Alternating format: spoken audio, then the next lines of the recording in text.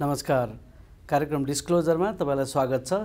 यो कार्यक्रम रातो पार्टी अनलाइनको होम पेज र रातो पार्टी फेसबुक पेजमा तपाईँ प्रत्यक्ष प्रसारण हेरिरहनु भएको छ। हरेक हप्ता जस्तै यो हप्ता पनि हामी एकजना नयाँ अतिथिका साथ उपस्थित भएका छौँ। देशको समसामयिक परिस्थिति हाम्रा सपनाहरूका बारेमा कुरा गर्नका लागि। तपाईँलाई थाहा छ हामीले यसअघि पनि पटक पटक विभिन्न अतिथिहरूसँग कुरा गरिसकेका छौँ र ती कुराहरूमा हामीले खास गरेर नेपाल कहाँ कसरी किन छ? अहिले भन्ने बारेमा कुरा गरेका छौँ। पटक पटक हामीले एउटा प्रश्न उठाइरहेछौँ नेपालीको लामो समयदेखि नेपाली जनताले देखेको एउटा सपना छ। यो समाज समृद्ध होस् न्यायपूर्ण होस् त्यो सपना कहाँ पुग्यो भन्ने बारेमा पनि कुरा गर्ने गरेका छौँ। आजको हाम्रो अतिथिसँग हामी नेपालको हाम्रो आफ्नो देश हाम्रो प्रशासन हाम्रो राज्य सत्ता हाम्रो सिंहदरबार हाम्रो गाउँ हाम्रो छरछिमेकमा चल्ने सत्ता कस्तो छ भन्ने बारेमा पनि छलफल गर्नेछौँ। हाम्रो अतिथि हुनुहुन्छ काङ्ग्रेसका केन्द्रीय सदस्य र पूर्व स्वास्थ्य मन्त्री गगन थापा। गगन थापाज्यू तपाईँलाई स्वागत छ। धन्यवाद। कुरा कहाँबाट सुरु गरौँ भने तपाईँ मन्त्री बन्ने बेलामा स्वास्थ्य मन्त्री बन्ने बेलामा एक थरी मान्छेहरूले कमेन्ट गरे।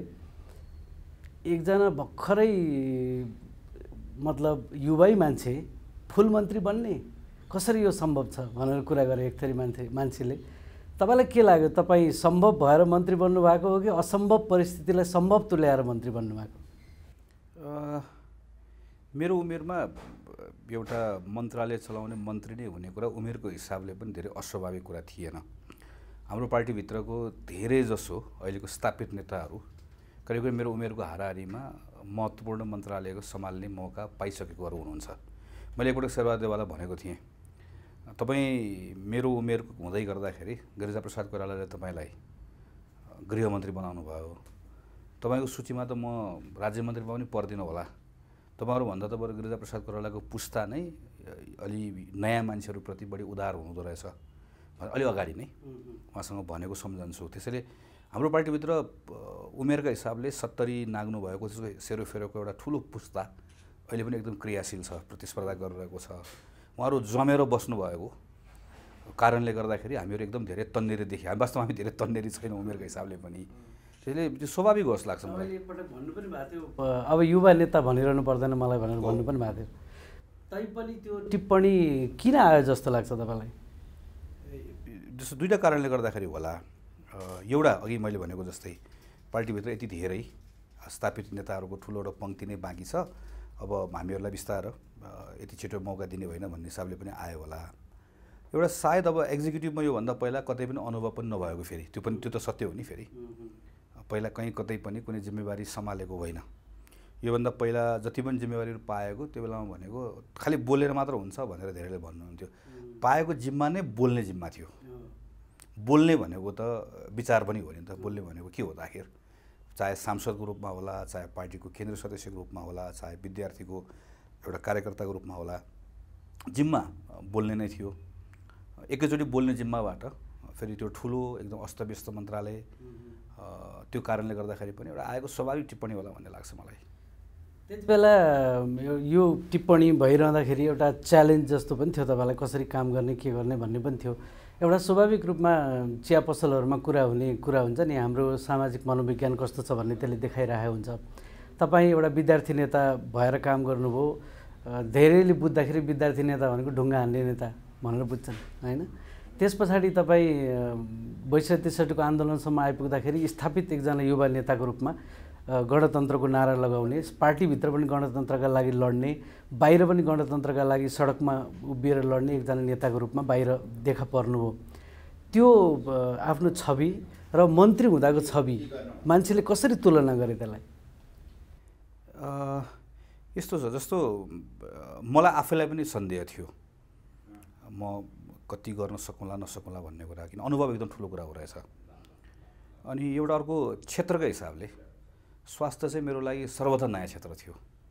जस्तो अब एजुकेसन मिनिस्ट्री एकछिनलाई मानौँ। मलाई एजुकेसन मिनिस्ट्रीको धेरै कुराहरू एउटा मुद्दाका हिसाबले थाहा थियो। विद्यार्थी नेता। भएर पनि काम गरेको युनिभर्सिटीको सेनेटर बसेर का फेरि मेरो एकदम चासोको विषय थियो। अहिले पनि म थुप्रै सोसियल मुभमेन्टहरूमा इनु- त्यसमा चाहिँ जोडिएको छु खास गरी एजुकेसनसँग जोडिएको कुरामा। मेरो पछिल्लो समयमा एकदमै रुचि राखेर मैले काम गरेको भनेको ऊर्जा एग्रिकल्चर यो सेक्टरहरू हो। म फेरि त्यसको संयोगले एउटा त्यो समितिको सभापति भएँ जसले गर्दा मलाई त नेचुरल रिसोर्सेसहरूको मेरो क्षेत्र हो जस्तो वन मेरो क्षेत्र हो भन्छु म। त्यो डेप्थमा मलाई थाहा छ। स्वास्थ्य मेरो लागि एकदमै नौलो क्षेत्र कुनै पनि कुरा थाहा नभएको थियो। त्यो भएकोले गर्दा अलिकति डर थियो अलिकति के- होला? म पहिलो दिन मन्त्री भएर छिर्दै गर्दाखेरि अनेस्टली म असाध्यै धेरै डराएको थिएँ। त्यो कुर्सीमा बस्दै गर्दा कहाँ आइपुगेँ म? मैले रङ पो डिसिजन गरेँ कि? किन त्यतिखेर एउटा कुरा चलिरहेको थियो साथीहरूको वृत्तमा धेरैको सुझाव मन्त्री बन्नुहुन्न भन्ने थियो। यो कतिखेर जाने हो पनि थाहा छैन होइन? फेरि कोलिसनको छ। पहिलोपटक बन्न लागेको अब यसपछि करियरमै एउटा ठुलो धक्का लाग्छ भन्ने थियो। म त्यस धेरै हिसाब किताब गर्ने मान्छे होइन। म अरू बेलामा पनि चाहे त्यो पार्टीको निर्णयहरूको विभिन्न मोडहरूमा पनि आफूलाई लागेको कुरा गर्ने भोलि त्यसको हिसाब जे तिर्नु पऱ्यो तिरौँला भन्दै हिँडेको यसपालि पनि मनबाट के थियो भने होइन अब मैले एउटा एक्जिक्युटिभ पोजिसन लिनुपर्छ। लिने भनेपछि मेरो प्राथमिकता ऊर्जा थियो। मैले त्यसका निम्ति चाहना राखेँ। त्यो नभएपछि जाने कि नजाने भन्ने अलमल भयो। म यसमा गएँ। तर मलाई एउटा कुरा थियो यहाँबाट निस्केर आइसकेपछि जब म फेरि फर्किन्छु अब मैले फेरि एउटा नागरिकको रूपमा सहर बजार सबै हिँडुल गरिरहेको छु। हिँडुल गरिरहेको बेलामा मैले पाँच महिना छ महिना आठ महिना जति महिना काम गर्न पाउँछु। मलाई अरू केही पनि चाहिँदैन। मान्छेले मलाई घृणा नगरोस्। मैले कति गर्न सकुँला नसकौँला होइन? बोला। मन मान्छेले मलाई घृणा नगरोस्। मेरो सम्पत्ति भनेको पनि त्यही हो। त्यही रूपमा पाएको माया हो एउटा एउटा एउटा एउटा सद्भाव हो। भएको छ त बाहिर तपाईँ हुनुहुन्छ अहिले? मेरो मलाई मेरो त यो सन्दर्भमा मलाई खुसी के कुरामा लागेको छ भने जस्तो एकदमै योभन्दा धेरै गर्न सकिन्थ्यो भन्ने एउटा छटपटाट मन्त्रीबाट निस्कँदै गर्दाखेरि भयो। अनि थुप्रै कुराहरू सुरु मात्र गरेको छु। आधा बाटोमा पनि पुगेको छैन। यो कुरा टुङ्ग्याउनु पाए हुन्थ्यो भन्ने थियो छ अहिले पनि। तर चुनावको लगत के अरे यो यसको लगतेपछि म करिब करिब बाह्र पन्ध्र जिल्ला गएर आएँ। आउँदै गर्दाखेरि जुन खालको रेस्पोन्स मैले तल आम मान्छेहरूबाट पार्टीको मात्र होइन चिया पसल खाना ठाउँ जाँदै गरेर बस्दै गर्दाखेरि आउँदै गर्दाखेरि पाएँ। त्यसबाट चाहिँ मलाई त्यो भएको छटपटाट मेरो एकदम कम भयो। मैले एउटा सन्तोष मान्ने जुन कुराको मलाई भोक हो त्यो कुरामा मैले एक तहको सन्तोष मान्ने अवस्था भयो। तर मलाई के चाहिँ छ अहिले पनि भने दुईवटा कुरा भन्छु यसमा। एउटा नेपालमा एकदमै धेरै गर्न सकिने अवस्था रहेछ। हामीले बाहिरबाट हेर्दै गर्दा जस्तो केही पनि नभएको हुँदै नभएको बर्बाद भयो सक्यो भनेको जस्तो होइन रहेछ। थुप्रै कुराहरू भएको रहेछ। आधारहरू धेरै बनेको रहेछ फाउन्डेसन धेरै कुराहरू बनेको रहेछ। एउटा त्यो एउटा यो क्रिटिकल मिनिमम स्पिड भन्छ नि त्यो प्लेन सर गुड्दै आएपछि ट्याक्सी गर्दै आएपछि सर्ट उड्नको लागि त एउटा स्पिड पछि मात्र छोड्छ जमिन। त्यो जमिन छोड्ने स्पिड चाहिँ यसले पाएको छैन। तर त्यो ट्याक्सी चाहिँ सुरु भइसक्यो केही न केही चाहिँ भएको रहेछ एउटा। अनि अर्को अब त्यहीभित्र फेरि त्यो पोजिटिभ साइड हो। अनि अर्कोतिर चाहिँ यति धेरै गर्न सकिने अवस्थाहरू हुँदा हुँदै पनि असाध्यै थोरै भएको रहेछ फेरि। अवस्था धेरै गर्नको लागि बनेको रहेछ तर हुन चाहिँ असाध्यै थोरै भएर बसिरहेको रहेछ। यसको एउटा मेजर कारण भनेको चाहिँ म चाहिँ अरूलाई दोष दिन्न यो राजनीतिक नेतृत्वको इच्छा शक्ति नै हो। यसबारेमा एकछिनमा हामी चर्चा गरौँला तपाईँलाई यही अर्को प्रश्न सोध्छु म। जस्तै तपाईँले जहाँ पुर्याउनु भएको थियो काम खास गरेर दुईजनाको चर्चा भयो पछिल्लो मन्त्री परिषदको तपाईँको र ऊर्जा मन्त्रीको चर्चा भयो। ऊर्जा मन्त्रीलाई अहिले गृहमन्त्री बनाइएको छ त्यति बेलाको ऊर्जा मन्त्रीलाई। तपाईँलाई त्यहाँ काम अझै गर्न पाए कति कुरा अधुरा कुरा पुरा गर्थेँ भन्ने हुनु स्वाभाविक भयो किनभने आठ नौ महिना खासै ठुलो समय भएन। तपाईँलाई किन कन्टिन्यू गरिएन त? थाहा भएन। मलाई त्यस त्यसको बारेमा कहिले कसैले कुरा पनि गरेन। अब यो पार्टी सभापतिको प्रधानमन्त्री पनि हुनु उहाँको प्रेरोगेटिभ जस्तो भयो यो होइन? उहाँले बोलाएर एकपटक पनि सोध्नुभएको पनि होइन। मैले मलाई बनाउनु पर्छ भनेर मेरो भन्न जाने कुरा पनि भएन। किनकि एउटा अन्डरस्ट्यान्डिङ जस्तो। हामी के नै भनेर गएका हौँ भने दुई चरण हुन्छ फरक फरक प्राइम मिनिस्टर हुनुहुन्छ। र यो प्राइम मिनिस्टरसँग पुष्पकमल दाहाल प्रधानमन्त्री भएको प्रचण्ड प्रधानमन्त्री भएको सरकारमा काम गर्ने हो। उहाँ सँगसँगै सरकारबाट बिदा हुने हो भन्ने मनोविज्ञानै बनाएर गएको हो। खालि अहिले के कुराले मात्रै कन्टिन्यूको कन्टिन्युटीको कुराको सन्दर्भमा पनि आफूलाई पनि एउटा लागेको कुरा मलाई बोल्न मन लाग्यो मैले भनिदिएँ पनि होइन सार्वजनिक रूपमै। सुरु गरेको कुराहरूलाई यो यो यो टुङ्ग्याउनु पाए हुन्थ्यो होइन। कि काम गर्दा गर्दा झटक्क छोडेर हिँड्नु परेको छ नि होइन भन्ने लागेको मात्रै हो। तर त्यसको बारेमा प्रधानमन्त्रीले बोलाउनु भएर कुरा गर्नुभएको त्यस्तो के अवस्था रहेन मैले पनि अब आफ्नो काममा लाग्न थालेँ अनि। एउटा अर्को प्रश्न तपाईँले अघि कुरा गर्दै गर्दा उठ्छ त्यो के भने तपाईँको योभन्दा अगाडि कहिलेकाहीँ कस्तो हुन्छ समाजमा केही स्थापित अनुहारहरू हुन्छन् जसका बारेमा आम मान्छेले पार्टीका मात्रै होइन आम मान्छेले आश गरे हुन्छन्। त्यस्तै मध्ये बाबुराम भट्टराई प्रधानमन्त्री हुने बेलामा मैले उहाँलाई दिने सुझावहरू सुनेको थिएँ। धेरै जसो नजिकका मान्छेहरूले अथवा बौद्धिक मान्छेहरू जसलाई भेट्नुभयो उहाँले उहाँहरूले सबैले उहाँलाई प्रधानमन्त्री नबन्न सुझाव दिनुभएको थियो। त्यस्तै तपाईँलाई पनि मन्त्री नबन्न सुझाव आएको भनेर अघि भन्नुभयो। यो डर किन रहेछ त हाम्रो सोसाइटीमा अथवा हाम्रो वृत्तमा? एकजना गर्न सक्ने जस्तो मान्छे चाहिँ अहिले नबन्दै हुन्थ्यो भन्ने डर किन छ? डेलिभरी नै दिन सकिँदैन भन्ने हिसाबले। त्यो हुनै सक्दैन। जस्तो मेरो बेलामा चाहिँ धेरैको कुरा के थियो भने एउटा त अब अब आफूले चिन्दै नचिनेको सङ्गतै नगरेको व्यक्ति प्रधानमन्त्री हुनुहुन्छ। के हो के हो? होइन उहाँको प्रधानमन्त्रीमा काम गर्दै गर्दा के हुन्छ? एउटा त्यो अनि दोस्रो यस्तो टाइम बााउन्ड छ त्यति गर्दा अझ छ महिना भन्ने थियो। छ महिनामा त्यस यस्तो यो था केही अत्तोपत्तो नभएको ठाउँमा गएर के गर्ने? पर्फर्म गर्न सक्दैन भन्ने। अनि मेरो नजिकको साथीहरूको बहुसङ्ख्यको त कुनै पनि हालत हुनुहुन्न। ड्यामेज भएर सकिएर गनाएर यो चाहिँ त्यहाँबाट निस्कने कुरा यो यो निश्चित छ भन्ने जस्तै थियो। सकिँदैन भन्ने कुराले नै हो रहेछ धेरै जसो। यो जस्तो कि ड्यामेज हुन्छ भन्ने बारेमा हाम्रोमा धेरै जसो कुरा हुने गर्छ जस्तै सामान्यतया एकजनाले इमान्दार आफ्नो काम गरिरहेको चुपचाप काम गरिरहेको साहित्यकारलाई पनि प्रज्ञा प्रतिष्ठान जाने हो भनेर धेरैजना मान्छे दौडमा होलान् होइन तर त्यो दौडमा छैन उसलाई जाने हो भनेर छोडेर अँ जानुहुन्न गयो भने त बर्बाद हुन्छ भन्ने एउटा छ क्या हाम्रोमा। यो मनोविज्ञान खासमा हाम्रो के एक एउटा मन्त्रालय अथवा एउटा सरकारी पोजिसनमा पुग्न साथ मान्छे भ्रष्टाचार गर्न बाध्य हुन्छ अथवा परिस्थितिले त्यस्तो बनाउँछ? अथवा यस्तो खालको प्रशासनिक संयन्त्रमा हामी छौँ कि त्यहाँ जाने बित्तिकै एकजना गर्न सक्ने मान्छे पनि गर्न नसक्ने अवस्थामा पुग्छ। कस्तो लाग्छ तपाईँलाई? यस्तो छ जस्तो अहिले मैले भनेको जस्तो हाम्रो प्रशासनिक संयन्त्र त्यसलाई डिल गर्ने हाम्रो राजनीतिक नेतृत्व यो थुप्रै कुराहरू एकदम एकदमै धेरै समस्याहरू छ। त्यसको बारेमा अहिले फर्दर छलफल होला। मेरो त्यसबाट मलाई एउटा ठुलो एउटा एउटा अनुभव एउटा पढ्ने एउटा मौका पनि भयो आठ नौ महिना काम गर्दै गर्दाखेरि। र मसँगै उपायहरू पनि छ भन्ने लाग्छ अब। यसो यसो गऱ्यो भने हुनसक्छ भनेर। अनि अर्को तपाईँले भनेको जस्तो हो त्यो जुन सुरुको कुरा भन्नु भने। किन अब एउटा खालको सञ्जाल जस्तो बनेको हुन्छ होइन? त्यहाँभित्र गइसके पछाडि त्यसलाई त्यसलाई तोड गर्नु त्यसलाई तोड्नुको लागि पनि त एउटा ठुलो टिम चाहियो। मुख्य लिडरसिप तयार हुनु पऱ्यो मुख्य लिडरसिप तयार भएन भने त्यो सम्भव हुँदैन। अर्को कुरा टाइम पनि चाहियो फेरि। टिम पनि छैन टाइम पनि छैन मुख्य लिडरसिपको साथ पनि छैन भनेदेखि भने त्यो भित्र त त्यो हराउँछ हराउँछ। कि त्यो आफू पनि त्यसको पार्ट हुन्छ? कि नसकेर त्यसले चाहिँ कि समर्पण गर्छ त्यसकै एउटा भाग हुन्छ। के होइन भनेदेखि भने सक्दैन थाक्छ हार्छ। योभन्दा त अरू केही पनि हुँदैन भन्ने कुरा नै हुने हो सामान्यतया। र धेरै जसो अवस्थामा त्यो हो पनि। हामीहरू केही कुरामा मलाई आफूलाई लागेको के कुरा एउटा मैले सार्वजनिक ठाउँमा पटक पटक भनेको छु कि काम गरौँ भन्ने र काम हुनैपर्छ भन्ने सोच प्रधानमन्त्रीमा भएको अवस्था रह्यो अहिले।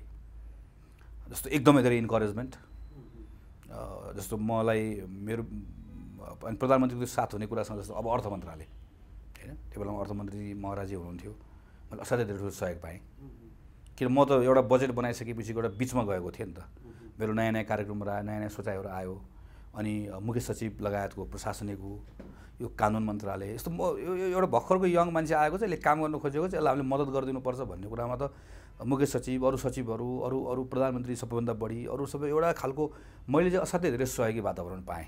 सबै इन्करेजमेन्ट पाएँ। जसले गर्दा मलाई सजिलो भयो। त्यो मसँग पछाडि त्यो आधार र ताकत छ भनेपछि मेरो मन्त्रालयभित्रको पनि मलाई पनि त्यस समर्पण गर्न लगाउने वा मलाई पनि त्यहीको पार्ट बनाउने भन्दा पनि मैले रिफर्म गर्न खोजेको कुराहरूमा मैले एउटा साथ पाउने अवस्था बन्यो।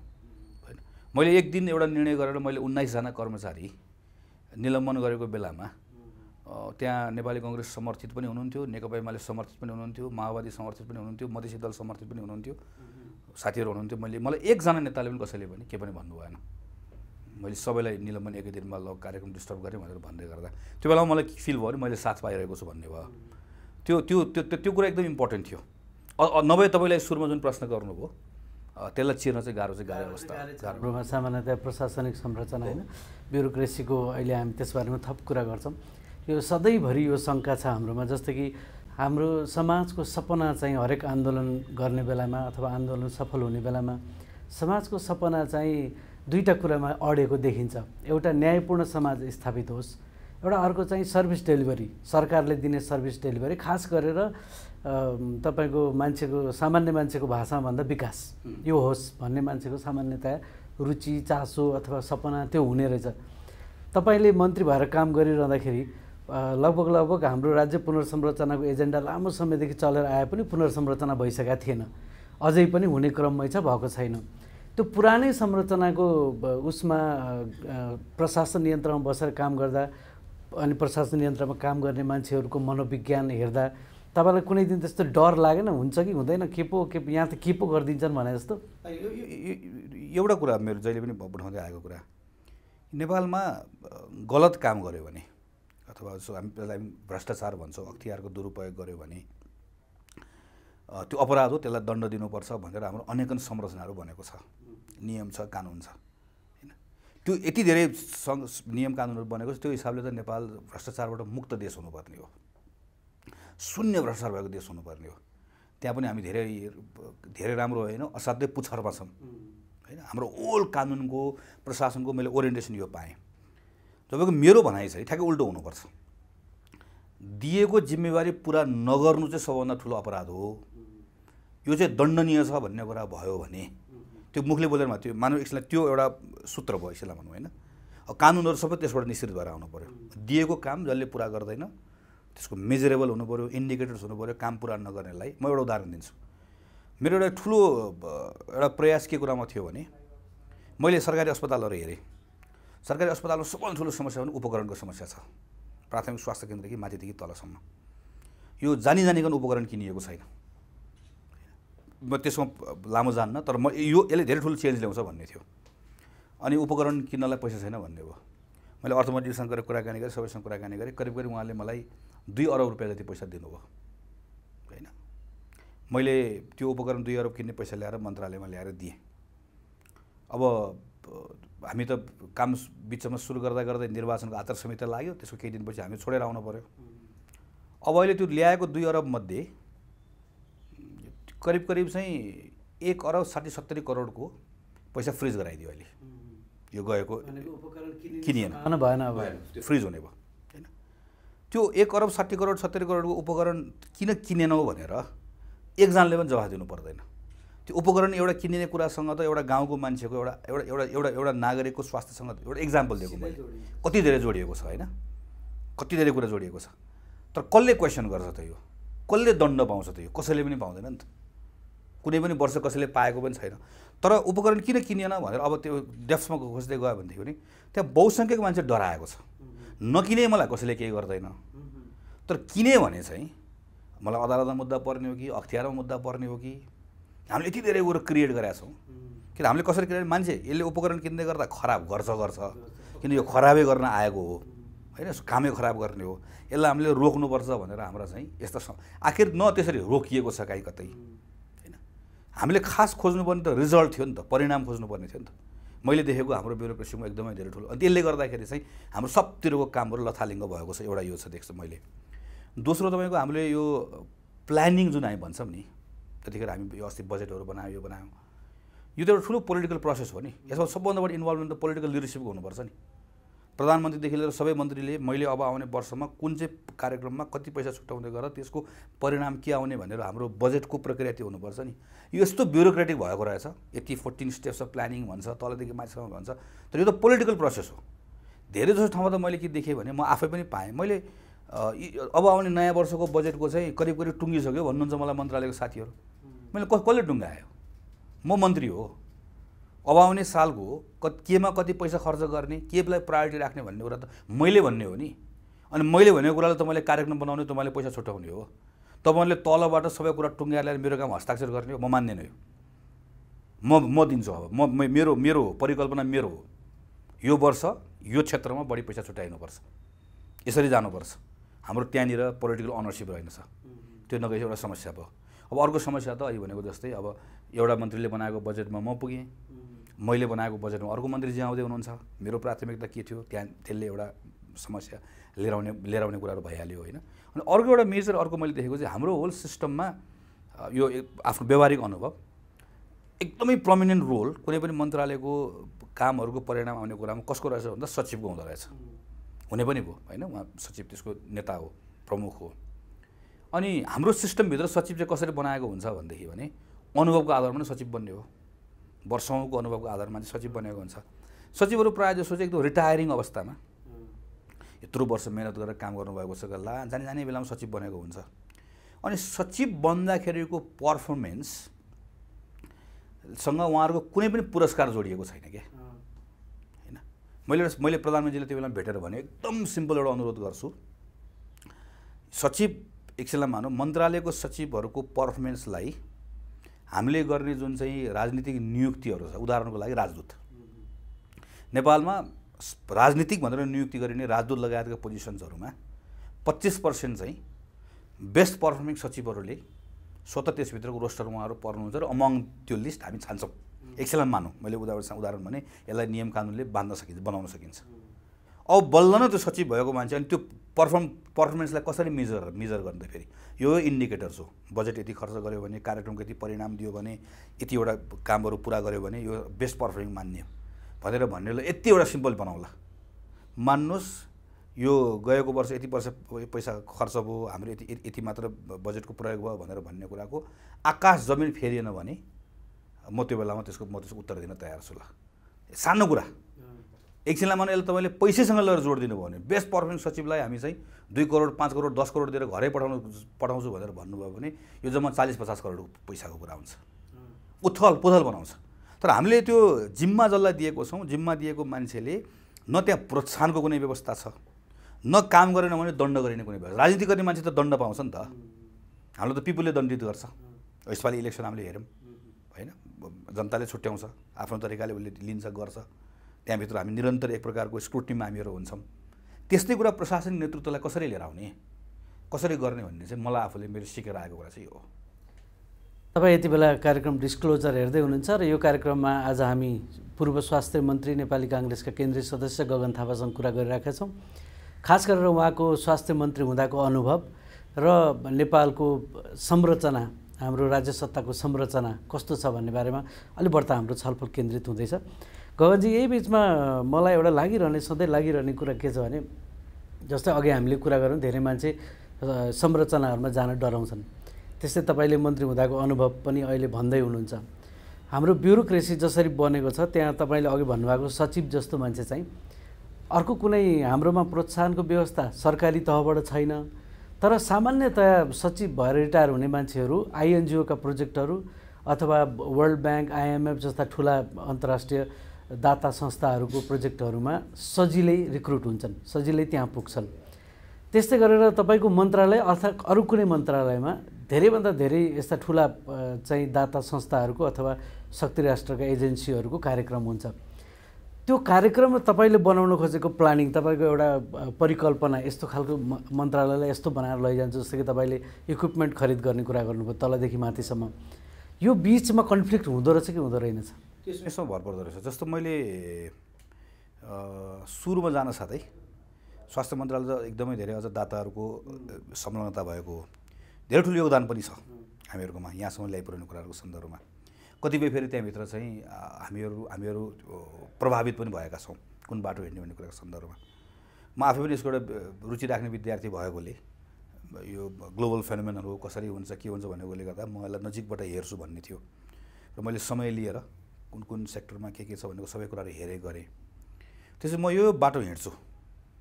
भनेर भन्न खोज्दै गर्दाखेरि र त्यसलाई मैले सर्टेन एउटा पोजिसन बनाएर लिएर गइसके पछाडि सँगसँगै डोरिएर आउने अवस्था बन्यो। त्यो बन्यो।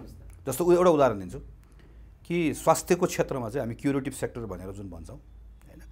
हामीहरूकोमा यो प्रिभेन्टिभ रोग लाग्नुभन्दा अगाडिको अवस्थामा चाहिँ पब्लिक हेल्थको राम्रो रेस्पोन्सको एउटा सिस्टम बनेको तर क्युरेटिभ साइड असाध्यै कमजोर भयो अस्पतालहरू। लथालिङ्ग हाम्रो अस्पतालहरू। इन्भेस्टमेन्ट पनि छैन ध्यान पनि छैन फर्दर कार्यक्रम पनि छैन।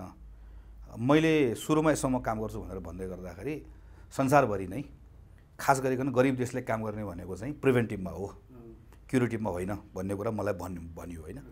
मैले भने संसारमा मलाई पनि थाहा छ। प्रिभेन्टिभमै काम गर्ने हो तर क्युरेटिभको कस्टमा होइन।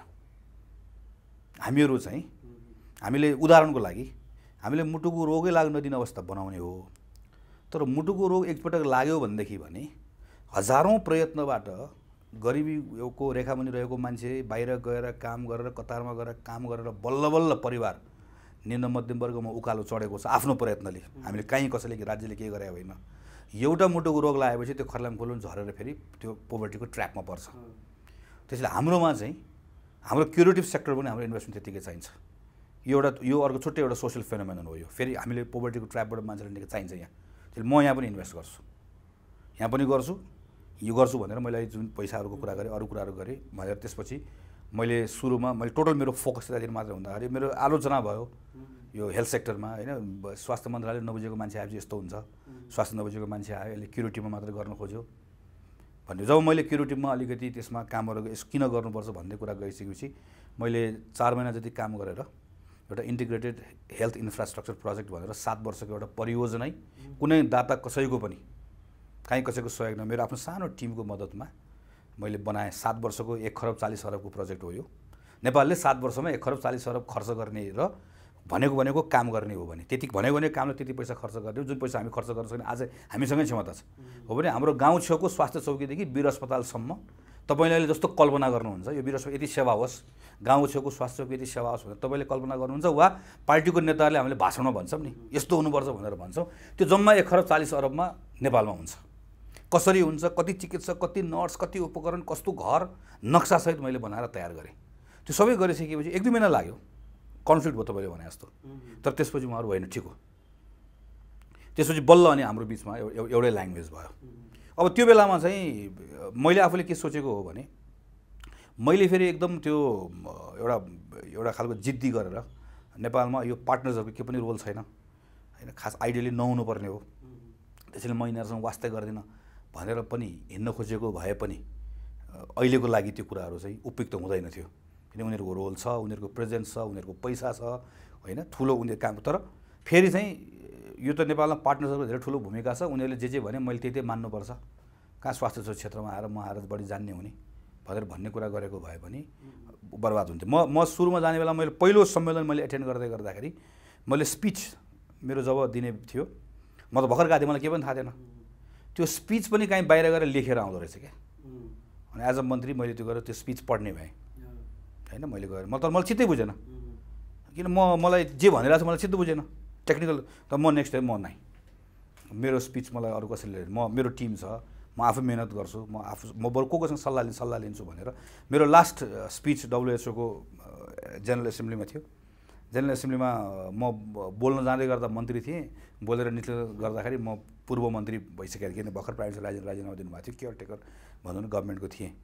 त्यो बेलाको त्यहाँसम्म पुगेर स्पिच एउटा इक्जाम्पल हो। त्यहाँ जाँदै गर्दाखेरि चाहिँ अब म के भन्ने ठाउँ एज अ नेपालको हेल्थ मिनिस्टर के भन्ने ठाउँमा पुगेको थिएँ भन्दै पनि नेपालमा चाहिँ डोनर्सहरूको यो रोल ठिक छैन। जस्तो मैले त्यहाँ भनेँ। होइन? हामीहरूलाई औषधिको मूल्यमा सस्तो बनाउने कुरामा कसैले पनि मद्दत गरेन। हाम्रो खर्च त त्यहाँ भइरहेछ। म त्यो भन् म तर मैले त्यो त्यो गर्ने कुराको सन्दर्भमा चाहिँ इन्टरनेसनल कम्युनिटीले जसरी काम गर्नुपर्ने त्यो गरेन। यो भएन त्यो भएन भनेर भन्ने कुरा गर्दै गर्दा त्यो स्पिच हामीहरूको टिम बसेर मैले जे बोल्न चाहेको त्यो कुरा मैले आफूले बोल्न सक्ने अवस्था बनेको हुनाले नै भयो। सो कस्तो सम्बन्ध राख्ने कसरी सन्तुलनमा लिएर जाने कहाँसम्म जाने कहाँ मद्दत लिने कहाँ नलिने भन्ने कुरा चाहिँ यो राजनीतिक नेतृत्वमा भर पर्छ। यसलाई ब्ल्याङ्केट राखेर गाली गरेर हुँदैन। शिक्षा र स्वास्थ्यमा खास गरेर दाताहरूको तपाईँले भन्नुभएको जस्तो एकदमै ठुलो रोल छ। लगभग मन्त्रालयमा ठुलो सङ्ख्यामा दाताहरूको उपस्थिति छ। मन्त्रालयभित्रै प्रोजेक्ट छ। मन्त्रालयमै अफिस छ दाताहरूको। यत्रो ठुलो उनीहरूको प्रेजेन्स छ। त्यो बिचमा अनि यत्रो ठुलो लगानी पनि छ। हाम्रो राज्यको पनि लगानी छ। यति हुँदाहुँदै पनि सिनारियो कस्तो देखिन्छ भने सबभन्दा धेरै सरकारीभन्दा धेरै बिरामी उपचार गर्न आउने पनि सबभन्दा धेरै पैसा कमाउने पनि र राम्रो भनिने पनि प्राइभेट हस्पिटलहरू छन्। प्राइभेट लगभग लगभग स्वास्थ्यको क्षेत्रमा डरलाग्दो ढङ्गले प्राइभेट हस्पिटलहरू शक्तिशाली भएर आएका छन्। यो सरकारी तपाईँले अघि भन्नुभएको सरकारी हस्पिटलहरूको अवस्था दुर्दशा तपाईँले भनिहाल्नुभयो। त्यो प्राइभेट हस्पिटल र सरकारी हस्पिटलको दूरी यत्रो धेरै लगानी दाताको सरकारको हुँदाहुँदै किन दूरी रहेछ त? यसको दुइटा साइड भयो। एउटा अस्पताल जानुभन्दा पहिलाको अवस्था। अस्पताल जानुभन्दा पहिलाको अवस्थामा सरकार मात्रै छ फेरि। कुनै प्राइभेट सेक्टर छैन। स्वास्थ्यको धेरै सबभन्दा ठुलो लगानी भनेको चाहिँ अस्पतालमा बिरामी पुग्नुभन्दा पहिला भएको लगानी छ। जहाँ हामीले अभूतपूर्व गरेका छौँ। योभन्दा पहिलाको मन्त्रीजीहरूलाई पनि मैले एक्नोलेज गर्नै पर्छ पोलिसी बनाउनेहरूलाई गर्नुपर्छ दाताहरूलाई पनि गर्नुपर्छ जसले गर्दाखेरि हाम्रो म्याटर्नल मोर्टालिटी चाइल्ड मोर्टालिटी हाम्रो इम्युनाइजेसन हाम्रो थुप्रै कुरामा हामीले नेपाल त्यसै त ग्लोबल लिडर नेपाललाई मानियो। होइन त्यहाँ त त्यहाँ त कुनै प्राइभेटले गरेको छैन। हाम्रै स्वास्थ्य स्वयंसेवीले गरेको छ हाम्रै स्वास्थ्य कर्मीले गरेको छ। त्यो पार्ट हो। तर त्यो पार्ट देखिँदैन। किन मान्छे बिरामी नभएपछि कहाँ देखिन्छ त होइन? त्यो पार्ट भयो। त्यसैले मैले भनेको। हाम्रो स्वास्थ्यको मेजर एउटा कुरा कहाँ भयो भनेदेखि भने अब बिरामी भएर मान्छे अस्पतालमा आयो। अब उपचार गर्नु पऱ्यो होइन? उपचार गर्दै गर्दाखेरि हामी खल्तीबाट पैसा तिरेर उपचार गर्नुपर्ने असाध्यै धेरै खर्च गरेर देशमध्ये नेपाल पर्छौँ हामी होइन? अब मेरो त्यस त्यो भएकोले गर्दा मैले आफ्नो एउटा मेजर कामै केलाई बनाएको थिएँ भनेदेखि भने यो बिरामी भएपछि अस्पताल आउने कुरा छ। एउटा त बिरामी नै कम हुन दिने त्यसमा अहिले आउँछु। मैले यो नसर्ने रोगहरूको क्षेत्रमा काम गर्नुपर्छ भनेर सुरु गऱ्यौँ हामीले। तर बिरामी भएर आइसकेपछि कसरी गर्ने भन्ने कुरा चाहिँ म एउटा उदाहरण दिन्छु गङ्गालाल। गङ्गालाल अस्पताल अहिले पनि सहरमै बस्ने मान्छेहरूले पनि एफोर्डै गर्न सक्ने मान्छेले पनि मुटुको रोग लाग्यो भने असाध्यै ट्रस्ट गरेर जाने अस्पताल कुन छ गङ्गालाल हो नि त होइन? आखिर त्यो त सरकारकै पैसाले चलेको अस्पताल छ। मैले गङ्गालाल अस्पतालमा गइसकेपछि म त्यसको को अध्यक्ष भएँ। मैले उहाँहरूसँग कुराकानी गरेर भने तपाईँलाई के चाहिन्छ? उहाँले हामीलाई यहाँ अहिलेसम्म यो यो उपकरण चाहिन्छ लिनुहोस्। नभएको पैसा गएर खोजेर ल्याएर हामीले बिस बाइस करोड उहाँलाई खोजेर ल्याएर दिएर उहाँले इक्विपमेन्ट थप्नुभयो हामीलाई अलिकति पैसा पनि हामी चाहिँ बाथको मुटुको रोग लाग्ने कुरा उपचार नि शुल्क गर्छ त्यो पनि गर्नुहोस् ल। त्यो पनि हामीले गरेर ल्याएर दिउँ। अनि गङ्गालालको साथीहरूसँग बसेर कुराकानी छ। मलाई यस्तै गङ्गालाल जनकपुरमा चाहियो। मलाई यस्तै गङ्गालाल नेपालगञ्ज चाहियो भने चाहिँ अब नेपालगञ्जको छलफल गऱ्यौँ। मलाई दस करोड चाहिन्छ म नेपालगञ्ज सुरु गर्छु ल गर्नुहोस्। उहाँले नेपालगञ्जमा अहिले सुरु गर्नुभयो। होइन? तर हामीसँग जम्मा एकजना चिकित्सक हुनुहुन्छ भर्खर सुरु भएको छ। जनकपुरमा गर्ने। मैले जन मैले मैले पनि जनकपुरमा गर्नुपर्छ। नेपालगञ्ज गरेर मात्र हुँदैन। त्यस जनकपुरमा गर्ने। उहाँहरू अध्ययन गरेर आउनु उहाँले भन्नुभयो हामीलाई एक वर्ष लाग्छ तर यो वर्ष हामीले यो चाहिन्छ। ल गर्नुहोस्। अनि मैले उहाँहरूसँग कुरा मलाई सातैवटा क्षेत्रमा मलाई गङ्गालाको सर्भिस चाहिन्छ। के के गर्नु पऱ्यो ल भनौँ। अब सातैवटा क्षेत्रमा गङ्गालालको सर्भिस पुऱ्याउन सकियो भने एउटा उदाहरण। नसकिने होइन। रौतडमा मैले नेपाली सेनासँग मिलेर हामी क्याम्प गर्न गयौँ। त्यो मैले नै सेनासँग मेरो सोचाइ थियो। त्यो सबै क्याम्पहरू गरेपछि चाहिँ मैले के प्रस्ताव लिएर आएँ स्वास्थ्य मन्त्रालयमा जुन प्रारम्भ भयो त टुङ्ग्याउन पाइएन भने प्राइभेट हस्पिटलको बरु म प्राइभेट अस्पतालको बरु म सरकारै सर्भिस किन्ने नागरिकले किन्न नलाउने। जस्तो म प्राइभेट हस्पिटल छ कुनै त्यो प्राइभेट हस्पिटलको सर्भिसै म किन्छु गभर्मेन्टले नै किन्छ होइन? र मेरो सरकारी अस्पताल जुन छ सरकारी अस्पताल जहाँबाट नागरिकलाई गुणस्तरीय नि शुल्क स्वास्थ्य सेवा दिनुपर्ने हो जहाँ चिकित्सक नभएर भएको छैन उसलाई त्यो सरकारको थाई चिकित्सक लान्छु कि प्राइभेटको चिकित्सक किनेर भाडामा लान्छु? उसलाई के मतलब? उसको मतलब त सर्भिस आउने कुरा हो नि। म प्राइभेट चिकित्सक किनेर भए पनि भाडामा लगेर पनि सर्भिस दिन्छु भनेर मैले त्यसलाई अगाडि बढाएँ। सबै कुराबाट म तपाईँले भन्ने कुरामै आउँछु। म के निष्कर्ष निकालेँ भनेदेखि भने चाहिँ हाम्रो स्वास्थ्य क्षेत्र त अहिले पनि पुरा सरकारले अलिकति राम्रोसँग हाम्रो पुरा हाम्रो कन्ट्रोलमा छ। हामीले गर्न सकिने किन? जति प्राइभेट हस्पिटल खोल्यो भने प्राइभेट हस्पिटलको नाइन्टी पर्सेन्ट त्यसको चिकित्सकहरू भनेको अहिले पनि सरकारका हाम्रा आफ्ना अस्पतालका कर्मचारीहरू हुन्। हामीले उनलाई आफ्नोमा मात्रै काम गर्ने राख्ने किनभने डक्टर्सहरूलाई हामीले एकदम अन्डर पेड छ हाम्रो डक्टर्सहरू। हामीले उनीहरूको सर्भिसलाई भ्याल्यु गर्न सकेका छैनौँ। राम्रोसँग हाम्रो सिस्टमभित्र मात्र आउनुपर्छ तपाईँहरू बाहिर काम गर्न पाउनुहुन्न भनेर भन्ने हो भने नाइन्टी पर्सेन्ट प्राइभेट हस्पिटल्सहरू चल्ने अवस्था छैन। प्राइभेट हस्पिटल्सहरू अमेरिकाको वा युरोपको जस्तो सरकारी अस्पतालभन्दा बाहिरको छुट्टै सिस्टमबाट चलेको होइन हामी कहाँ हामी कहाँ त मैले सगरमाथा अञ्चल अस्पतालमा गएको बाहिरबाट एउटा डक्टरको अञ्चल अस्पतालमा डक्टर भेटिनँ। बाहिर आएँ अस्पताल ठ्याक्क बाहिरपट्टि चाहिँ फलाना डक्टर तल्लोपट्टि सगरमाथा अञ्चल अस्पतालमै कार्यरत। त्यो अञ्चल अस्पतालमै कार्यरत भन्ने लाइसेन्स नहुने हो भने ट्रस्टै छैन। मान्छेलाई ट्रस्ट त फेरि उहीसँग छ। भने अब कसरी उहाँहरूलाई राख्ने त अस्पतालमा? के के कारणले गर्दा उहाँहरू बस्नुभएको छैन भनेपछि केही उहाँहरूको कमजोरी छ केही मन्त्रालयको कमजोरी छ। यसमा काम गर्ने। पहिला तलब बढाउनु पऱ्यो कम्तीमा पचास पर्सेन्ट बढाउने। पचास पर्सेन्ट खास बढाउनलाई हामी सय पर्सेन्ट खोजेको थियौँ सकेनौँ। फिफ्टी पर्सेन्ट यो साल फिफ्टी अर्को साललाई फिफ्टी पर्सेन्ट बढाउने भनेर भन्यौँ। यसो गर्दै गर्दै गर्दै गर्दै यो अब सुधारको कामहरू यसलाई लगातार अगाडि बढाउनुपर्छ मलाई के विश्वास फरक लगातार यो कामलाई अगाडि बढाउने भने एक वर्ष एक वर्षभन्दा बढी लाग्दैन। एक वर्षभित्रमा नेपालको सबै अस्पतालहरूसँग केही हाई एन्ड भारतमा गएर सिङ्गापुरमा गएर ब्याङ्ककमा गएर कसैले उपचार किन्छु भने किन्न त पाउँछ नि त। त्यो त्यहाँ गएर उपचार किन्ने कुरालाई एफोर्ड गर्न सक्ने नागरिकले ब्याङ्कक जानुभन्दा त नेपालकै राम्रो प्राइभेट हस्पिटलमा उपचार गरेर नेपाललाई फाइदै हो नि त। त्यस्तो अस्पताल बाहेक सरकारी अस्पतालमा सेवा किन्न खोजेको वा लिन खोजेको नपाएर नसकेर उपलब्ध नभएर बाध्यताले निजीमा उपचार गर्न जानुपर्ने अवस्थालाई एक वर्षभित्रमा एन्ड गर्न बाई चोइस मेरो नारै त्यही थियो। बाई चोइस प्राइभेटमा जाने जानुहोस्। बाई फोर्सले जानुपर्ने नभएकोले जानुपर्ने बाध्य भएर जानुपर्ने अवस्थालाई एक वर्षभित्रमा एन्ड गर्न सकिन्छ मजाले सकिन्छ। त्यति आधारहरू बनेको रहेछ। काम कति भएको छ? जस्तै तपाईँले अहिले जति भन्नुभयो जति व्याख्या गर्नुभयो त्यसका आधारमा सुन्दाखेरि कस्तो लाग्छ भने मानव हाम्रो स्वास्थ्य क्षेत्रको धेरैजसो समस्या समाधान हुनेतिर चाहिँ गइसक्यो जस्तो लाग्छ। तर तल गएर ठ्याक्कै ठाउँमा गएर हेर्दाखेरि त त्यस्तो त छैन। जस्तै अस्पतालहरूको अवस्था पनि राम्रो छैन। औषधि महँगै छ। ट्रिटमेन्ट महँगै छ। जस्तो म यतिसम्म भन्न सक्छु कि अहिले हाम्रो पचहत्तरै जिल्लाको जुन हाम्रो जल जसलाई हामी जिल्ला अस्पताल अञ्चल अस्पतालहरू यो खालको अस्पतालहरू भन्छौँ यो अस्पतालहरू त हामी छ महिनामै त्यो त्यो यो यस्तो पनि पहिला पुरानो अस्पतालै होइन भने अवस्था बनाउन सक्छौँ। यसैपालि मात्रै पनि हामीले करिब करिब चाहिँ कति अस्सी करोड रुपियाँ पैसा तलको हस्पिटल झर्न पठाएको छौँ। तलै।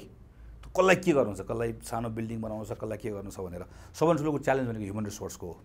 ह्युमन रिसोर्सको च्यालेन्जलाई चाहिँ अहिले पुरा गर्नको लागि खाली भएको जनशक्तिको लागि अघि मैले भनेको जस्तो मैले के एउटा योजना अगाडि सारेको थिएँ भने प्राइभेट मेडिकल कलेज कतिपय सन्दर्भ प्राइभेट हस्पिटल्सहरूसँग पनि पार्टनरसिप गर्ने। त्यो पार्टनरसिप गर्ने भने के हो भनेदेखि भने चाहिँ जस्तो उदाहरणको लागि मैले गरेँ जस्तो काठमाडौँ मेडिकल कलेजले सिन्धुली जिल्ला अस्पतालसँग ए होइन बर्दिवाससँग उहाँहरूसँग मेरो सम्झौता हुन लागेको थियो। त्यो गरेपछि के हुन्छ भने जस्तो गाइनोकोलोजीको डक्टर होइन अर्थोपेडिक सर्जन जस्तो आजको दिनमा कसैले बर्दिवास अस्पतालमा देख्दैन भेट्दैन। तर काठमाडौँ मेडिकल कलेजसँग त छ। सो काठमाडौँ मेडिकल कलेज र स्वास्थ्य मन्त्रालयको सम्झौता भएपछि यो पाँचवटा सर्भिस चाहिँ कसले प्रोभाइड गर्थ्यो भने काठमाडौँ मेडिकल कलेजले प्रोभाइड गर्थ्यो। त्यसो भए बर्दिवासको जनताले त पायो अहिलेलाई। कम्ती तिन चार वर्ष यो मोडलबाट जाने। त्यसपछि हामीसँग आफ्नै उत्पादन हुन्छ भनेर त्यसलाई राम्रोसँग होमवर्क गरेर काम सुरु गरिएको। तर त्यसलाई अब टुङ्ग्याएर सम्झौता गर्ने गर्ने बेलातिर ठ्याक्कै बिदा हुने अवस्था भयो। तर अब अब नयाँ आउने मन्त्रीजीले त्यसलाई कन्टिन्यू गर्नुभयो भने समाउनुहुन्छ। ठुलो एउटा कुरा गर्न खोजेको कुरा औषधिको थियो। सुरुवात गरेँ तर त्यसलाई मैले अगाडि बढाउँदा बढाउँदै जानु पऱ्यो मलाई औषधिको चाहिँ के छ भने जस्तो आज कुनै एउटा नागरिक छ डायबिटिजको पेसेन्ट छ महिनै महिना महिनाभरि औषधि किनेर खानुपर्छ। महिनाको मानव तिन हजार रुपियाँ उसले औषधिमा खर्च गर्नु परेको छ भने अहिले सुरु गरेको जुन कामहरू छ त्यसलाई टुङ्गोमा पुर्याउने हो भने म यतिको कुरा दावाका साथ भन्न सक्छु। धेरै कुरा नभए पनि महिनाको खल्तीमा तिन हजार रुपियाँ मासिक औषधि तिरेको मान्छेले सिधा उसको औषधिको खर्च पन्ध्र सयमा आउँछ। त्यो- तपाईँ यति बेला डिस्क्लोजर कार्यक्रम हेरिराख्नु भएको छ रातोपाटी अनलाइन अ, टिभीको रातोपाटी अ, अ, टिभीको रातोपाटी अनलाइन अ, होम पेजमा र रातोपाटी फेसबुक पेजमा हेरिराख्नु भएको छ। यति बेला हामीसँग गगन थापा हुनुहुन्छ पूर्व स्वास्थ्य मन्त्री। उहाँको अनुभव हामी सुनिरहेका छौँ। यही यही औषधिको बारेमा एउटा प्रश्न छ हाम्रो। आम जनमानसमा प्रश्न के छ भने औषधि असाध्यै महँगो छ तर त्यो खासमा औषधिको मूल्य त्यति पर्दैन। जस्तो कि यति धेरै कमिसन हुन्छ औषधिमा त्यो एक समय चाहिँ त्यो कमिसन कम गर्ने भनेर कोसिस पनि भएको थियो। गिरिराज मणि मन्त्री हुँदाखेरि कोसिस पनि गर्नुभएको थियो। एक एक थरी औषधिहरू फ्री पनि भनेर गर्नुभयो उहाँले। तर कैयौँ ठाउँमा कस्तो देख्यो भने जनस्वास्थ्य कार्यालयहरूमा भएका औषधिहरू चाहिँ फ्रीमा पाउने भनेको मान्छेहरूले कति पाछन् थाहा छैन। तर कर्मचारी या त्यहाँका स्टाफको साथीभाइ या फ्यामिलीका नातागोता घरमा चाहिँ त्यो औषधि सड्ने गरेर यत्तिकै फालिएको जस्तो पनि देखियो कति ठाउँमा। र औषधि अझै पनि प्राइभेट के अरे मेडिकलहरूमा चाहिँ महँगो मूल्यमा त्यही औषधि बिक्री भइरहेको देखियो। यो औषधिमा जस्तो ठुलो कार्टेलिङ छ भनिन्छ। त्यो कार्टेलिङले आम जनमानसमा ठुलो समस्या सिर्जना गरेको छ भन्ने छाप परेको छ। तपाईँले गर्नु खोजेको अघि भन्दै गर्नुभएको कुराले कतिको फरक पार्छ जस्तो लाग्छ? दुईवटा कुरा थियो। एउटा चाहिँ तपाईँको नेपाल सरकारले जुन औषधि नि शुल्क उपलब्ध गराउने भनेर भन्ने छ एकदमै ठुलो जनचासोको विषय पनि यही बन्ने। एउटा फ्री हेल्थ केयरको जुन प्याकेज सुरु भयो त्यो मध्येको एउटा औषधि पनि थियो। मैले यसलाई गर्न खोजेको कुरा भनेको चाहिँ कम्तीमा औषधि जुन नि शुल्क भनेर भनिएको छ त्यो औषधि उपलब्ध गराउनुपर्छ भन्ने मेरो एकदम धेरै समय पनि यसमा गयो। अब कम्ती अब नयाँ आउने मन्त्रीजीलाई त्यो प्रब्लम हुँदैन। किनकि मैले मेरो पालामा गर्नुपर्ने खरिदका प्रायः सबै कुरा टुङ्ग्याएर अब ठ्याक्क त्यसको सबै चाहिँ डेलिभरी हुने बेला भएको छ जसले गर्दाखेरि औषधिको कन्टिन्युस सप्लाई हुन्छ अब।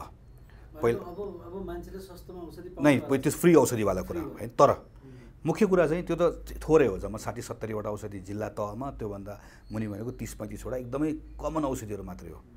हामी त अहिले पनि हामीले जुन खल्तीबाट जब तपाईँ कुनै ठाउँ उपचार गर्न जानुहुन्छ खल्तीबाट गर्ने खर्चमध्ये हाम्रो कन्सल्टेन्सीमा अरू डायग्नोस्टिक्समा हामीले गर्ने खर्च एकदम कम छ। हाम्रो सिक्सटी फाइभ पर्सेन्ट पैसा हाम्रो औषधिमा खर्च हुन्छ। र त्यो औषधिमध्ये के नेपालमा उत्पादन हुन्छ हामीले बहुसङ्ख्यक औषधि हामीले बाहिरबाट ल्याउँछौँ बाहिरमध्ये ल्याएको अस्सी पर्सेन्ट हामी भारतबाट ल्याउँछौँ। भारतमा मल्टिनेसनल कम्पनीजहरूले उत्पादन गर्छ। त्यहाँबाट कोही इम्पोर्टरले ल्याउनुहुन्छ अनि हाम्रो औषधि पसलमा गएर हामीले किनेर लिन्छौँ। यहाँ इम्पोर्टर एकजनालाई दोष दिएर पनि हुँदैन यो। यो कुनै एकजनाको कुरा होइन। तर मैले आफूले हेर्दै गएपछि मैले के पाएको भने त्यो औषधि जुन फ्याक्ट्रीले उत्पादन गर्छ त्यो फ्याक्ट्रीले उत्पादन गर्ने एक्स प्राइस जुन हो त्यो एक्स प्राइस जब मैले मेरो काउन्टरबाट किन्छु किन्दै गर्दाखेरि डेफिनेटली त्योभन्दा महँगो त हुन्छ। मैले लागेको यो ठाउँ पनि उत्पादन गर्दै गर्दा सायद चाहिँ यो चाइनिज हो। दस रुपियाँमा भएको थियो होला मैले पाँच सय रुपियाँमा किनेँ। होइन लुगाहरू त हुन्छ कतिपय कुराहरूमा। तर औषधि त यस्तो कुरा हो जुन कुरालाई त मैले त सकेसम्म सस्तो बनाउन खोजेको होइन। त्यो एक्स प्राइस फ्याक्ट्री प्राइसमा र त्यहाँ आइपुग्दै गर्दाखेरि बाह्र सय पर्सेन्ट चौध सय पर्सेन्ट अठार सय पर्सेन्टसम्मको दुई हजार पर्सेन्टसम्मको चाहिँ कतिपय सन्दर्भमा फरक देखिसके पछाडि यस्तै हो त संसारभरि भन्ने कुरा हेर्ने गएपछि कि हामीले भारतमै देख्यौँ। भारतमा तामिलनाडु सरकारले तामिलनाडु कर्पोरेसन बनाएर चाहिँ मेडिकल औषधि कर्पोरेसन। त्यसले के गर्दो रहेछ भने तामिलनाडुभरिलाई चाहिने औषधिको लिस्ट बनायो। अनि उसले बिचको एजेन्टहरू कसैले पनि बेच्न नपाउने। मलाई यति औषध चाहिन्छ भनेपछि सिधा म्यानुफ्याक्चर गर्नेसँग सिधा किन्ने। किन्न। साथै उसले त्यत्रो बिचको त्यत्रो पर्सेन्ट त गयो होइन? त्यो बेला म श्रीलङ्का गएँ। श्रीलङ्काको स्वास्थ्य मन्त्रीले मलाई यो कुरा भन्नुभयो। हामीले के पनि गरे होइन। हामीले पहिला यस्तै थियो। हामीले सिधा बङ्गलादेशको म्यानुफ्याक्चरसँग औषधि किन्यौँ। हाम्रो एकचोटि बाह्र सय तेह्र पर्सेन्ट घट्यो भनेर भन्नुभयो। भनेपछि मैले नेपालमा गर्न सकिन्छ सकिँदैन भनेर म हेर्दै गएपछि म स्विजरल्यान्ड पुगेँ। स्विजरल्यान्डको मल्टिनेसनल कम्पनीको नेपाली काम गर्ने नेपालीले मलाई बडो मद्दत गर्नु राजुजी हुनुहुन्थ्यो। उहाँको मद्दतबाट त्यहाँको कम्पनीसँग बसेपछि त्यो कम्पनीहरू सब तयार भयो। मैले इन्डियामा करेस्पोन्डेन्स गरेँ बिचमा गएर मैले इन्डियाको मन्त्रीजी भेटेँ बङ्गलादेशको मन्त्रीजी भेटेँ। सबैसँग कुरा चाहिँ के निष्कर्ष निस्कालेँ मैले भने इम्पोर्टरलाई के पनि भने तपाईँहरू इम्पोर्ट गर्नुहोस् ल्याउनुहोस् तपाईँको बाहिरको खुल्ला पसल नगरेर बेच्नुहोस् तपाईँको कुरा हो। त्यो मैले रोक्न पनि सक्दिनँ त्यो भन्सार कति लाग्छ मेरो विषय पनि होइन थियो तर मेरो हस्पिटलमा जुन हस्पिटल फार्मेसी छ त्यो म आउनुभन्दा पहिलेदेखि नै सुरु भएको रहेछ तर त्यो कागजमा भएको व्यवहारमा नखोलेको। मैले डन्डै लगाएर हस्पिटल फार्मेसी नखोल्ने म छोड्दिनँ भनेपछि करिब अस्सी पर्सेन्ट हस्पिटलमा यो वर्षमा सक्यो। मेरो सय पर्सेन्ट पुऱ्याउने कुरा थियो अलिकति भएन। मेरो आइडिया चाहिँ के हो भने हस्पिटलभित्र एउटा फार्मेसी हुन्छ हस्पिटल फार्मेसी। अस्पतालले आफ्नो प्रपर्टीमा कुनै पनि सटरमा औषधि पसल भाडामा दिन पाइँदैन। चिया पसल राख अरू पसल राख औषधि पसल दिन पाइँदैन। हस्पिटल फार्मेसीले एकदमै कम नाफा लिएर औषधि बेच्नुपर्छ। एउटा कर्पोरेसन हुन्छ सेन्टरमा। त्यसले सिधा म्यानुफ्याक्चर गर्नेसँग किन्छ। दिन्छ बिचको सबै कुरा गयो नि। अनि त्यो हस्पिटल फार्मेसीले अस्पतालको औषधि कम नहोस् भनेर एउटा फर्मुलरी बनाएर औषधि बनाउँछ। तर यो गर्नको लागि हाम्रो अहिले विद्यमान ऐन नियम कानुनले दिँदैन। भनेपछि मैले मन्त्री परिषदमा प्रस्ताव लिएर गएँ। प्रस्ताव लिएर गएपछि अहिले सार्वजनिक खरिद कार्यालयको सचिवको संयोजकत्वमा एक महिनासम्म एक महिना नागिसक्यो। होइन मैले फलो त गरिरहेको छु तर अब नयाँ आउने मन्त्रीजीले गर्नु पऱ्यो त्यो एक महिनाको समय दिएर यसरी सिधा औषधि किन्नको लागि विद्यमान ऐन नियम कानुनमा कहाँ कहाँ परिमार्जन गरेर किन्ने किन्न चाहिँ किन्ने भनेर अहिले त्यहाँबाट अध्ययन भइरहेको छ। मेरो प्रस्ताव चाहिँ सिधा औषधि किन्ने म्यानुफ्याक्चर गर्नेसँग किन्ने हस्पिटल फार्मेसी ल्याएर बेच्ने। अब वीर अस्पतालको हस्पिटल फार्मेसीमा ल्याएर बाहिरको बाहिरको औषधि पसलको भाडा आठ लाख नौ लाख कहाँबाट हुन्छ त्यो? होइन? तपाईँ हस्पिटल फार्मेसी ल्याएर औषधि बेच्ने। अब बाहिर कुनै एउटा ठाउँमा पसलमा गएर औषधि अहिले जुन इम्पोर्ट गर्ने साथीहरूले भन्नुभएको कुरा मन्त्रीले आरोप लगाए नचाहिने कुरा गर्यो हाम्रो औषधि त्यत्रो मूल्यमा फरकै छैन भनेर जुन उहाँले भन्नुभएको छ। त्यो मूल्यमा फरक नभएको बेलामा त मान्छे किन मूर्ख छ र? किन लाइन लागि बिरुवा हस्पिटल फार्मेसी किन्न आउँछ? बाहिर गएर किनिहाल्छ नि त। उहाँहरूले पिर मान्नै परेन। मैले भनेको सत्य हो रहेछ। भने बिरुवा हस्पिटल फार्मेसीमा किन्छ? मेरो दाबी छ मैले भनेको कुरा हो। अब अन्तिममा अन्तिममा के कुरा गरौँ भने प्रचण्ड प्रधानमन्त्री भएको बेलामा तपाईँ मन्त्री हुनुभयो। पहिला पनि तपाईँले एउटा अनुभव सेयर गर्नुभएको थियो प्रचण्डसँग तपाईँ लगायत युवा नेताहरू जाँदाखेरि कसरी काङ्ग्रेसी युवाहरू चाहिँ प्रचण्डसँग प्रभावित भएर आएको थियो भनेर तपाईँले चाल ढाल नै प्रचण्डको कपी गर्न थालेको थियो भनेर एउटा प्रसङ्गमा भन्नुभएको थियो। अहिले तपाईँलाई कस्तो लाग्यो प्रचण्डसँग काम गरिरहँदा एकदमै कम्फर्टेबल एउटा खालको अब त्यो सुरुमा अलिअलि एउटा मैले पनि भने संशय जस्तो थियो। मैले स्टार्ट गर्ने बेलामै म आउनुभन्दा पहिले उहाँले केही कुराहरू घोषणा गर्नुभएको थियो पार्लियामेन्टमा हेल्थ सेक्टरमा म यो गर्छु भनेर। मैले पनि त्यसैलाई समातेँ। तपाईँको यो घोषणालाई पुरा गर्न चाहन्छु। मलाई यो कुरा चाहिन्छ। भनेपछि मैले लगातार सबै कुरामा मद्दत पनि पाएँ र मलाई अर्को कुरा के पनि भयो भनेदेखि भने अब हामीहरूको कतिपय सन्दर्भ हामीहरू हेपिएको कतिपय कुराहरूमा हाम्रो कुरै नसुन्ने भएको ठाउँमा चाहिँ यसपालि चाहिँ मन्त्रीमण्डलमा बस्दै गर्दाखेरि मेरो आफ्नो मन्त्रालय कुरा मात्र होइन मैले दर्जनौँ कुराहरूमा मेरो मन्त्रालय विषयभन्दा बाहेकको विषय थुप्रै विषयहरूमा मन्त्री परिषदमा हुने निर्णयहरूमा चाहिँ मैले आपत्ति प्रकट गरेँ त्यसलाई सच्याउनुपर्छ भनेर भने यो कारणले गर्दाखेरि भने त्यो कुरालाई प्रधानमन्त्रीले कतिपय सन्दर्भमा हाम्रो आफ्नो ठुला नेताहरूसँग राख्दै गर्दा त्यस्तो हाम्रो कुराहरू कहिले सुनवाई नभएको अनुभव बोकेर आएको। त्यो मेरो आफ्नो जुन ब्याकग्राउन्ड थियो त्यो ठाउँमा चाहिँ प्रधानमन्त्रीले गम्भीरतापूर्वक कुरा सुनेको कतिपय कुरालाई ड्रप गरेको कति कुरालाई स कतिपय थुप्रै कुराहरू छोडिदिनु भएको छ। खास गरी डक्टर गोविन्द किसीको आन्दोलनसँग जोडेर पटक पटक त्यो विषयहरू उठ्यो। त्यो त्यो त अझ मेरो सेक्टर भयो कतिपय। त्योभन्दा बाहिर कति त्यो कति त्यो विषयहरू। त्यो कुरामा मैले एकदमै कम्फर्टेबल पनि फिल गरेर मैले पनि त्यति वातावरण पाएपछि मलाई पनि लागेको कुरा मैले धकफुकाएर आफ्नो कुराहरू पनि राखेँ। बोलेँ बाजेँ मत बजाएँ। तर त्यसलाई त्यसलाई एकदमै कम्फर्टेबल कम्फर्ट जोनमा उहाँले ल्याइदिनु भयो। त्यसले गर्दा पनि काम गर्न सजिलो भयो। तपाईँ र ऊर्जा मन्त्रीको दुईजनाको नाम आउँछ बारम्बार। जनार्दन शर्मा र गगन थापा दुईजनाले चाहिँ यो मन्त्री परिषदमा काम गरे।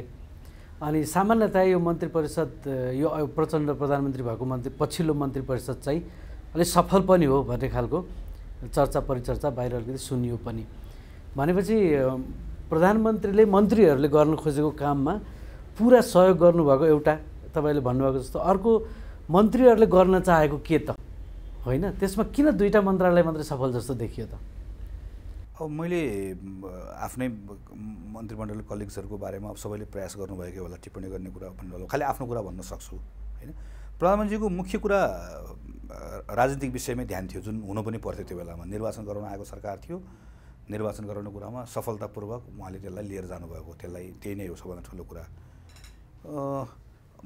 मैले अब ऊर्जा मन्त्रीजी उद्योग मन्त्रीजी अरू अरू पनि कति मन्त्रीजीहरूले त्यहाँनिर कुनै पनि कुराहरू चाहिँ एकदम केही कुराहरू गर्न ल्याउनु भएको छ भने मन्त्री परिषद बैठकमा मात्र होइन त्योभन्दा पहिला पनि उहाँलाई गएर भेटेर भन्दै गर्दा मैले कतिपय आफ्नो मन्त्रालयको कुराहरूलाई लिएर सानो सानो कुराहरूमा समेत भयो तर सानो कुरा उहाँको लागि असाध्यै सानो कुरा प्रधानमन्त्रीलाई भन्नुपर्ने कुरै होइन त्यो। होइन एउटा सानो कर्मचारीको कुरा हुन्छ। होइन? निर्वाचन आयोगले एउटा कर्मचारी खटाइनीति गर्दाखेरि मेरो ठुलो एउटा क्याम्पेन रोकिने अवस्था भयो। मेरो स्वास्थ्य मेरो वर्ष भन्ने मेरो क्याम्पेन थियो। मेरो लागि त ठुलो कुरा थियो नि त क्याम्पेन होइन? त्यसको ठुलो एउटा महत्त्व थियो रा पब्लिक हेल्थको महत्त्व थियो। तर मैले रोक्न सकिनँ। क्याम्पेनै प्रभावित हुने हो। मैले प्रधानमन्त्रीलाई भेट्छु भने तुरुन्तै भेटिदिनु मैले भने उहाँले त्यो ल उहाँले तुरुन्तै यसो मेरो कुरा मिलाइदिनु भयो। यस्तो कुराहरूमा समेत पनि चाहिँ एउटा सहयोग पाएको अवस्था भयो। त्यसले के हो भन्दै भने अब अग्रसरता लिँदै गर्दाखेरि त्यो सहयोग पाउने अवस्था हुँदो रहेछ भन्ने मेरो त सुखद अनुभव रह्यो। अन्तिम प्रश्न। तपाईँ जुन अघि सुरुमा हामीले कुरा गऱ्यौँ जुन परिस्थिति जस्तो डाउट जस्तो डरमा प्रधान मन्त्री हुनुभयो तपाईँ आफूलाई लक्की भन्ठान्नुहुन्छ अब यसलाई यस्तो ठिकठाक बाहिर निस्किनु भयो भन्ने छ नि त। यसलाई यस्तो लाग्छ। मलाई यस्तो मलाई ऊ त थिएन फेरि। मलाई यो स्वास्थ्यमा गर्न सक्ला नसक्ला भन्ने हो। होइन यो बर्बादै हुन्छ डुबिन्छ गर्न सकिन्न भन्ने कुराको त्यत्रो फेरि डर चाहिँ होइन मलाई। संशय हो। अरू कारणले होइन। जस्तो मलाई ऊर्जा मन्त्रालय छिरेको म म पुरा कन्फिडेन्सको साथ छिर्थेँ। एग्रिकल्चर मिनिस्ट्री कन्फिडेन्स साथ छिर्थेँ। स्वास्थ्य चाहिँ अब पहिला चिकित्सक हुन खोजेको हुन नसकेको। स्वास्थ्यसँगको सम्बन्ध भनेको डक्टरको श्रीमान। स्वास्थ्यको सम्बन्ध भने त्यति हो। के पनि थाहा छैन त्यो सेक्टर। सोसियल सेक्टर पनि अरू धेरै सेक्टरमा चासो राखियो नि त। के पनि थाहा नभएको सेक्टर छ। जस्तो माइग्रेन्ट वर्कर मेरो एकदम ठुलो चासो भएको क्षेत्र थियो। अहिले पनि छ होइन? म श्रममै गएको भए पनि मलाई एउटा प्यासन थियो यो गर्छु भनेर। के पनि थाहा छैन स्वास्थ्यमा। त्यसले गर्दाखेरि अलिकति संशय भएको हो। तर मलाई के थियो भने म आफू बिग्रिन्न म आफू चाहिँ यो सबै कुराबाट चोखो बस्छु भन्ने भइसकेपछि अरूले मलाई जबरजस्ती लगाएर डुबाइदिन्छ भन्ने कुरासँग डराउने हो भने राजनीति किन गर्ने? त्यो त बेकार कुरा भइहाल्यो नि। म सरकारमा जाने कुरासँग भन्ने चाहिँ थियो होइन? तर पनि अब छोटो समय थियो। अब एउटा त्यो चाहिँ लाग्छ। मैले त्यो अघि मैले भने म म एकदम आभारी छु मेरो प्राइम मिनिस्टरसँग मेरो अरू मिनिस्टरसँग मेरो पार्टीकै सभापतिसँग उहाँको पनि मलाई लगातार सहयोग रह्यो मेरो अरू कलिग्सहरूसँग सबैले मलाई सहयोग गर्नुभयो। त्यो कुरामा तपाईँलाई लकी भन्ने अथवा भनौँ न। मलाई लाग्छ एक प्रकार म यसरी पनि हेर्छु है। मेरो उमेरको हिसाबले म यङ्गेस्ट मिनिस्टर करिब करिब म थिएँ। करिब करिब होला सायद अरू एकजना साथीहरू हुनुहुन्थ्यो कि। मैले त्यहाँनिर काम गर्न खोजेको धेरै मैले अब के पाउँथेँ सचिवहरू पनि सिनियर सचिवहरूबाट पनि भनेदेखि चाहिँ नेपालमा मान्छे खराब होइन के? हामीलाई अहिले तपाईँले सुरुमा भन्नुभएको थियो नि हामीलाई त्यसले थकाएर गलाएर चुसाएर हामीले गर्ने ऊर्जा भएको बेलामा के पनि गर्नुपर्ने अवस्था हुन्छ। सायद मैले गर्न खोजेको जोस त्यो मेरो त्यो हतारो देखेर त्यो आफूले त्यही बेलामा आफूले गर्न खोजेको गर्न नपाएको कुरालाई सम्झेर पनि ए एउटाले गर्न खोजेको हामीले पनि यस्तै गर्न खोजेको थियो मद्दत पाएनौँ यसलाई चाहिँ गरिदिनुपर्छ भन्ने पनि आयो होला। मैले मद्दत पाएँ। त्यो कुरामा म आइम भेरी ह्याप्पी कार्यक्रममा आइदिनु भयो आफ्नो कुरा राखिदिनु भयो धेरै धन्यवाद। हस् धन्यवाद। डिस्क्लोजर कार्यक्रमबाट बिदा माग्ने बेला भयो। आजको छलफल तपाईँलाई कस्तो लाग्यो? आफ्नो सुझाव दिइराख्नु होला अर्को हप्ता फेरि भेट्नेछौँ। धन्यवाद नमस्कार।